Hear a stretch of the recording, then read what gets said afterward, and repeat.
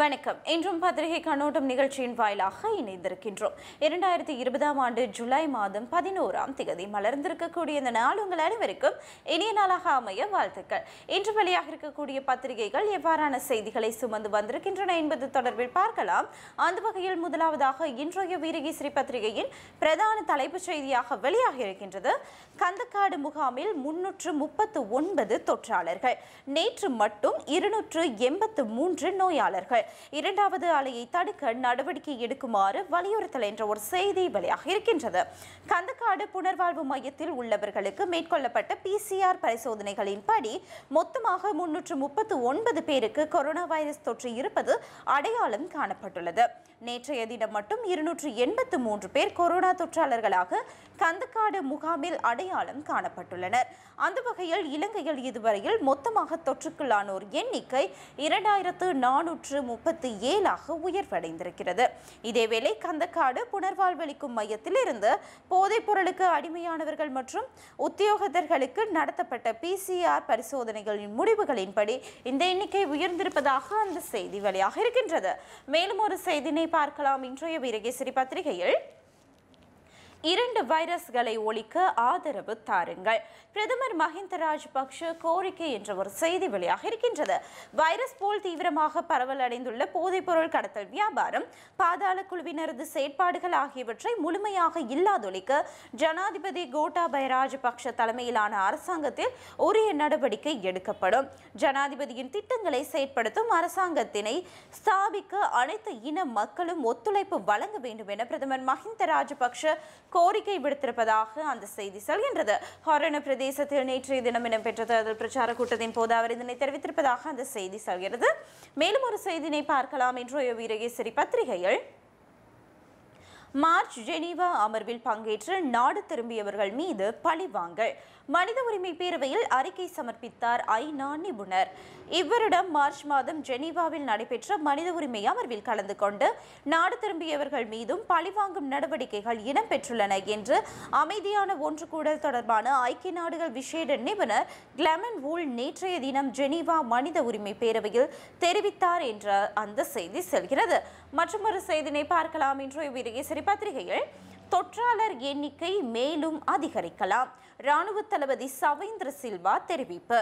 கந்தக்காடு புனர்வாழ்வளிக்கும் நிலையத்தில் தொற்றுக்கள்ளானோர் எண்ணிக்கை மேலும் அதிகரிக்கக்கூடும். எனினும் இதன் மூலம் சமூக பரவல் ஏற்படுவதை தடுப்பதற்கு சகல நடவடிக்கைகளும் எடுக்கப்பட்டுள்ளது என ராணுவ தளபதி மேஜர் ஜெனரல் சவேந்திர சில்வா தெரிவித்திருப்பதாக அந்த செய்தி செல்கிறது. மற்றொரு செய்தினை பார்க்கலாம். இன்றைய வீரகேசரி பத்திரிகையில் சகல அதிகாரங்களும் ராஜபக்ஷவுக்கு சென்றால் சர்வாதிகாரம் நிச்சயம். பதிமூன்றை நீக்குவதாக கூறி சிங்கள வாக்குகளை பெற முயற்சி என்கின்றார் விக்கி. இலங்கை இந்திய ஒப்பந்தத்தினூடாக வடக்கு கிழக்கு மாகாணங்களுக்கு மட்டுமே மாகாண சபை பற்றி கூறப்பட்டதே ஒழிய ஏனைய மாகாணங்களுக்கு மாகாண சபை முறைமைகள் தேவையில்லை என கூறப்படவில்லை. ஆகவே மாகாண சபை தேவையில்லை என்று சொல்லும்போது சிங்கள மக்கள் ஆம் என்றே ஏற்றுக்கொள்வார்கள் என வடமாகாண முன்னாள் முதலமைச்சர் சி வி விக்னேஸ்வரன் தெரிவித்திருப்பதாக அந்த செய்தி சொல்கிறது. அடுத்ததாக இன்று வழியாக இருக்கக்கூடிய தினக்குரல் பத்திரிகை எவ்வாறான செய்திகளை சுமந்து வந்திருக்கின்றது என்பது தொடர்பில் பார்க்கலாம். இன்றைய தினக்குரல் பத்திரிகையின் பிரதான தலைப்பு செய்தியாக வெளியாகியிருக்கின்றது இலங்கையில் இரண்டாவது கொரோனா அலை பாய்கிறதா? இருபத்தி நான்கு மணி நேரத்தில் முன்னூற்று நாற்பது பேருக்கு தொற்று. பொலனறுவை கந்தக்காடு புனர்வாழ்வு முகாமில் இருபத்தி நான்கு மணி நேரத்தில் கொரோனா வைரஸ் தொற்றுக்குள்ளான முன்னூற்று நாற்பது பேர் அடையாளம் காணப்பட்டுள்ளனர். நேற்று முன்தின மாலை வரையில் அந்த முகாமில் கொரோனா தொற்றுக்கு உள்ளான ஐம்பத்து ஆறு பேர் அடையாளம் காணப்பட்டிருந்ததுடன் நேற்றைய தினம் காலை மேலும் நூற்று தொண்ணூத்து ஆறு பேரும் அதனைத் தொடர்ந்து நேற்று மாலை மேலும் எண்பத்தி ஏழு பேரும் அடையாளம் காணப்பட்டுள்ளனர். நேற்று மாலை வரையில் இருபத்தி நான்கு அந்த முகாமிலிருந்து மொத்தமாக முன்னூற்று நாற்பது கொரோனா தொற்றாளர்கள் அடையாளம் காணப்பட்டுள்ளனர் என அந்த செய்தி சொல்கிறது. மற்றும் ஒரு செய்தினை பார்க்கலாம். இன்றைய தினக்குரல் பத்திரிகையில் அபாய வலயமாக மாறியுள்ள கந்தக்காடு. கடந்த காலங்களில் கந்தக்காடு போதைப்பொருள் புனர்வாழ்வு நிலையத்தில் தங்கியிருந்த கைதிகளை பார்வையிடுவதற்காக வருகை தந்து நூற்று பத்தொன்பது உறவினர்களை தனிமைப்படுத்த நடவடிக்கை எடுக்கப்பட்டுள்ளதாக ராணுவ தளபதி சவேந்திர சில்வா தெரிவித்திருப்பதாக அந்த செய்தி செல்கிறது. மேலும் ஒரு செய்தினை பார்க்கலாம். தேர்தலுக்கு முன்னர் வடபகுதியில் நிலைநிறுத்தப்படும் ராணுவம் தேர்தல் ஆணைக்குழுவின் உறுப்பினர் பேராசிரியர் ரத்னஜீவன் ஹூல் தெரிவிப்பு என்று அந்த செய்தி வெளியாக இருக்கின்றது தேர்தலுக்கு முன்னதாக வடபகுதியில் அதிகரித்த ராணுவ பிரசன்னம் குறித்து தேர்தல் ஆணைக்குழுவின் உறுப்பினர் பேராசிரியர் ரத்னஜீவன் ஹூல் கவலை வெளியிட்டுள்ளார். வடபகுதியில் படையினரை நிலைக்கொள்ள செய்யும் நடவடிக்கைகள் தீவிரம் அடைந்துள்ளன எனவும் அவர் தெரிவித்திருப்பதாக அந்த செய்தி சொல்கிறது. மற்றொரு செய்தியினை பார்க்கலாம். இன்றைய தினக்குரல் பத்திரிகையில் சிங்களத்தால் அல்ல சீனாவால் வவுனியாவுக்கு புது பிரச்சினை. வவுனியா புகையிரத நிலைய வீதி வைரவ புளியங்குளம் பகுதியில் அமைந்துள்ள சீன நிறுவனத்தினால் காட்சிப்படுத்தப்பட்டுள்ள பதாதையில் சீன மொழிக்கு முன்னுரிமை அளிக்கப்பட்டு தமிழ் மொழி புறக்கணிக்கப்பட்டுள்ளமை தொடர்பில் விசனம் தெரிவிக்கப்பட்டுள்ளது என அந்த செய்தி செல்கின்றது. அடுத்ததாக இன்று வெளியாக இருக்கக்கூடிய தினகரன் பத்திரிகை எவ்வாறான செய்திகளை சுமந்து வந்திருக்கின்றது என்பது தொடர்பில் பார்க்கலாம். இன்றைய தினகரன் பத்திரிகையின் பிரதான தலைப்பு செய்தியாக வெளியாக இருக்கின்றது. வடக்கு கிழக்கில் வாழ்ந்த பிள்ளைகளின் கழுத்தில் தொங்கிய சயனைட் குப்பிகளை அகற்ற கிடைத்தமை மிக பெரும் பாக்கியம். யுத்தம் நிறைவுக்கு வந்தமையால் மக்கள் பயமின்றி தமது பயணங்களை செய்வதாக பிரதமர் தெரிவிப்பு.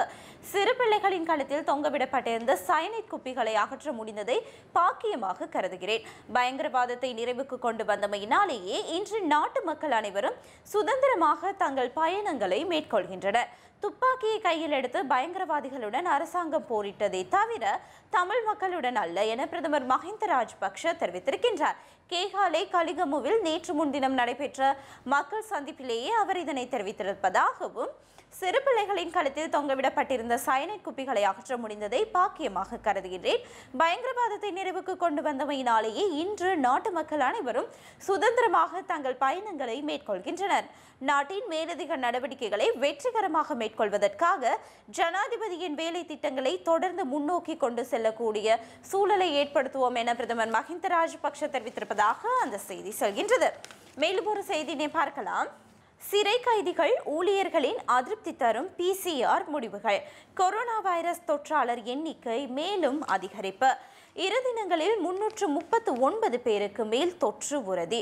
மேலும் பரவ வாய்ப்பு. கந்தக்காடு புனர்வாழ்வு மத்திய நிலையத்தில் இருந்து மேலும் இருநூற்றி எண்பத்து மூன்று கொரோனா வைரஸ் தொற்றாளர்கள் இனம் காணப்பட்டுள்ளதாக சுகாதார அமைச்சு தெரிவித்துள்ளது.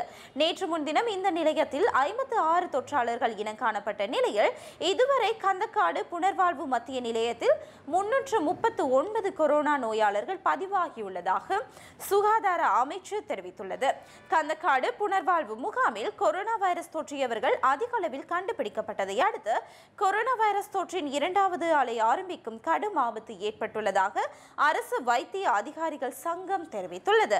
இதனால் தினமும் ஐந்தாயிரம் பிசிஆர் பரிசோதனைகளையாவது செய்ய வேண்டியது கட்டாயம் என அரசு வைத்திய அதிகாரிகள் சங்கத்தின் உதவி செயலாளர் மருத்துவர் நவீன் டி சொய்சா தெரிவித்துள்ளார் என அந்த செய்தி செல்கிறது. மற்றும் ஒரு செய்தினை பார்க்கலாம். இன்றைய தினகரன் பத்திரிகையில் கோவிட் நைன்டீன் இரண்டாம் அலை பரவும் அபாயம்.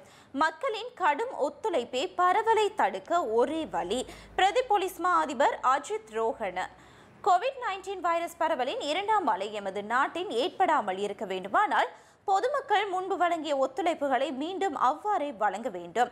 கடந்த சில நாட்களாக சுகாதார பாதுகாப்பு பொறிமுறைகளை பின்பற்றாது பொதுமக்கள் செயற்படுவதை காணக்கூடியதாக உள்ளது என பிரதி போலீஸ் மா அதிபர் அஜித் ரோஹன தெரிவித்துள்ளார்.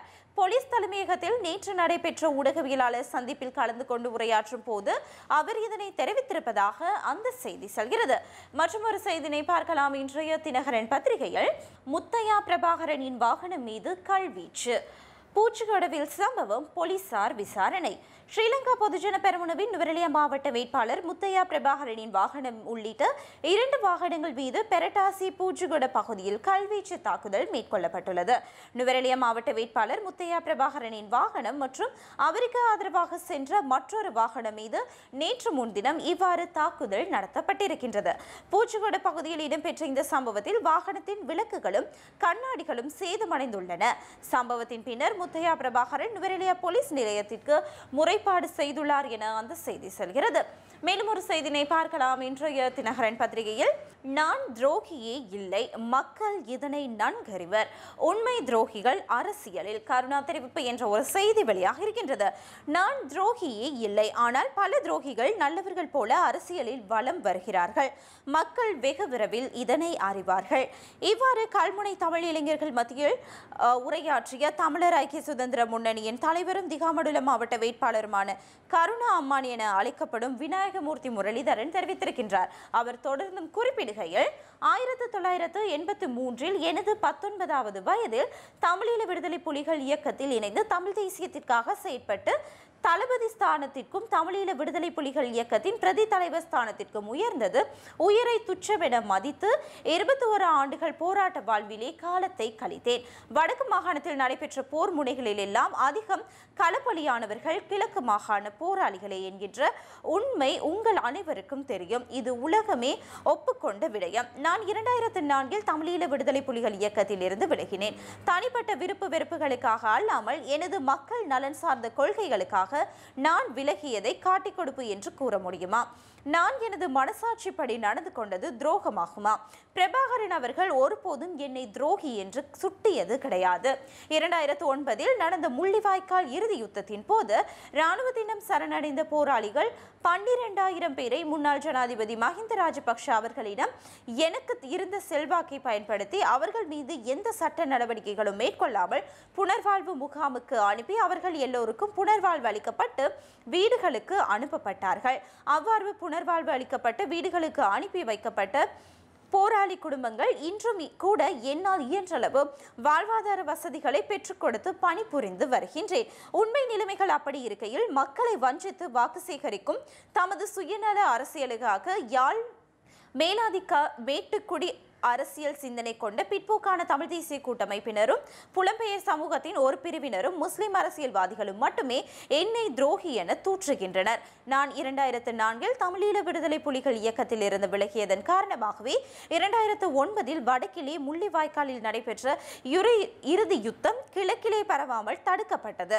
அதனாலேயே அன்று முள்ளிவாய்க்காலிலே அப்பாவி தமிழர்களுக்கு ஏற்பட்ட பேரழிவை போன்ற அவலம் கிழக்கிலே நிகழாமல் தவிர்க்கப்பட்டது. என் அன்புக்குரிய அன்புக்குரியவர்களே இப்போது சொல்லுங்கள் நான் துரோகியா என கருணா தெரிவித்திருப்பதாக அந்த செய்தி செல்கிறது.